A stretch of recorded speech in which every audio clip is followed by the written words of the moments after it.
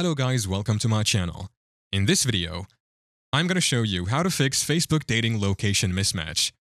First things first, let's talk about the location mismatch issue on Facebook dating.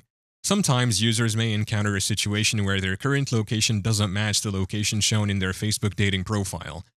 This can happen due to various reasons such as GPS inaccuracies or outdated location settings.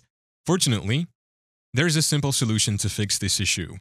If you notice a location mismatch on Facebook dating, you can report the problem directly to Facebook for assistance. To report a location mismatch issue on Facebook dating, go to the Facebook app and make sure to log in to your account. Once logged in, tap on the menu icon in the top right corner to access your menu. Within the menu, scroll down and tap on Help and Support to reveal more options. Among the options, select Report a Problem. Next, tap on the Report a Problem button to proceed. On the next page, select the Include button. Now, in the Product section, look for Other, and tap on that.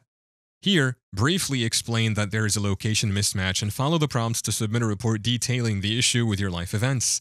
After you've submitted the report, Facebook's support team will investigate the issue and work to resolve it as soon as possible. And there you have it. Thank you for watching. If this video was helpful, please leave a like and subscribe to my channel for more videos like this. And click on that notification bell to never miss an update.